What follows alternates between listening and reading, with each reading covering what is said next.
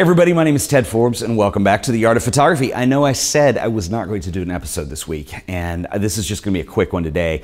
Um, series of events, we had a quick meetup last night in Montreal. I'm back in Texas today. Um, it's been a weird 24 hour turnaround, uh, but a discussion that came up at the meetup last night I thought would be worth sharing with you guys.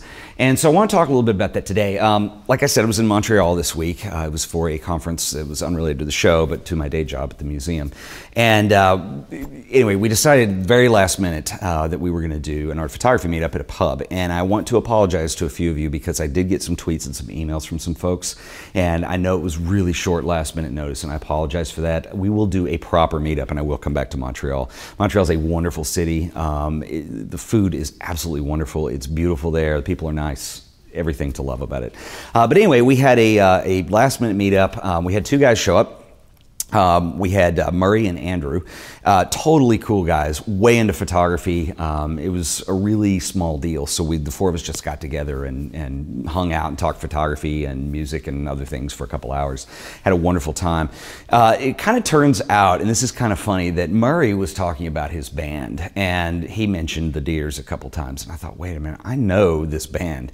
And long story short, about seven or eight years ago, I remember Thom Yorke, the singer from Radiohead. I was is in a period of my life where I was kind of, I hadn't been listening to a lot of new music in a while, and creatively I was really trying to get back into that. And I remember Thom Yorke had this article where he was talking about a bunch of his favorite artists, and the Dears were mentioned in there, and they had an EP that I bought called Protest, uh, which, if you're into indie rock kinds of stuff, uh, maybe a little progressive mixed in and kind of experimental, it was amazing.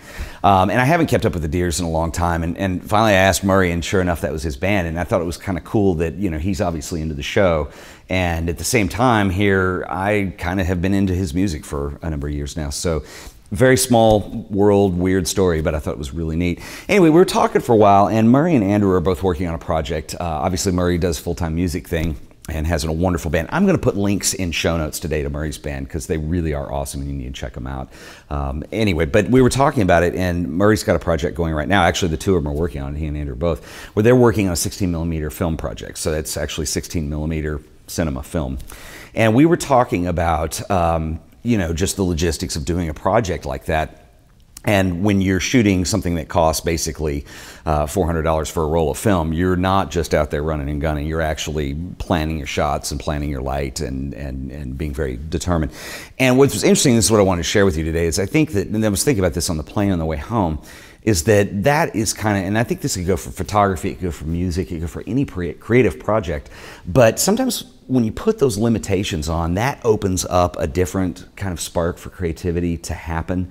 And it, it's, it's a weird thing to explain, and those of you who know what I'm talking about know exactly what I'm talking about. But essentially what it is is if you're going to do something and you know this can be a great way to get out of a rut too if you you know creatively kind of stale or stagnating is come up with an idea for something you want to do and put parameters around it. One of the comparisons Murray said is, you know, when he's doing music, um, you know, he's a guitar player. So, you know, what if I wanted something that's really heavy and gritty and kind of dark, but I'm gonna like here's my limitation. I'm not going to use guitar on it. I have to get that sound from something else. And all of a sudden, those parameters end up opening up possibilities. And actually, I think you know, and this is what we were kind of agreeing on last night open up more freedom to what it is that you are looking to do or trying to explore or really what you want to pull out of yourself. This can happen in photography as well. You know, think of a shot you want to get and impose a limitation on it. Uh, let's say that you want to shoot, um, you know, something that's really colorful, but you're going to make yourself do it in black and white, or something that's very contrasty and moody, and maybe you do shoot a lot of black and white, and you're going to force yourself to do it in color, or maybe you're a digital person and you're going to make yourself shoot film, or vice versa. Anyway, some of those, it's just a real easy limitation there, but sometimes sometimes that opens up uh, possibilities for other things. I think, you know, there was a point in my life where I was doing a lot of um, urban landscapes. So it was like, you know, cityscapes of mainly downtown Dallas, but I've done in other cities too, like London, where I was doing night exposures with no flash and really slow film.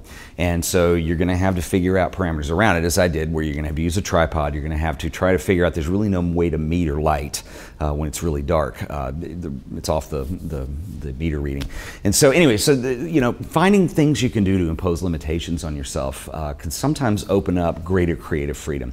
Anyway, I wanted to share that that with you because these guys were really awesome, and I want to thank them for coming out. And I apologize to the rest of you who couldn't make it.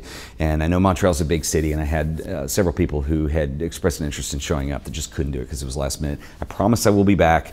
Uh, we'll make it happen again. And uh, I'm going to link to some of Murray's stuff below in the show notes. Um, uh, they've done a ton of stuff. They've been on David Letterman. They, I mean, they're a big deal. And I was really flattered that he digs my show because it's like, wow, I dig his band. So it was really kind of cool. So I'm sorry if you guys missed it. And uh, anyway, that's just a short episode today. I wanted to share a little bit of that conversation last night. I will admit I have been awake since 3:30 local time this morning to catch a very early flight to come back to the United States, and I am exhausted. So it is now time to go rest and recoup and put this up on YouTube and um, iTunes, etc.